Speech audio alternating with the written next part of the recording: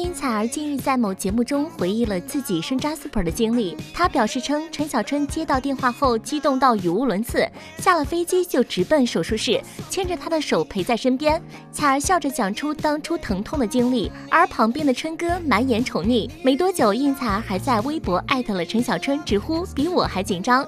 网友们看到后也纷纷表示，这个我们都知道，能不紧张吗？表白女神，幸福的一家人，嘻嘻，希望一辈子都这样，可以打闹，可以大笑。